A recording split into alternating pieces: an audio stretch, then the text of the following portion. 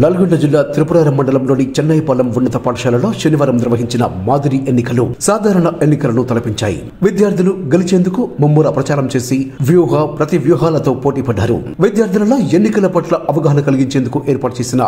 ఈ మాదిరి ఎన్నికల్లో సాధారణ ఎన్నికలకు సంబంధించినట్లే అన్ని ఏర్పాట్లు చేసి తగిన సౌకర్యాలు కల్పించారు నామినేషన్ స్వీకరణ కోసం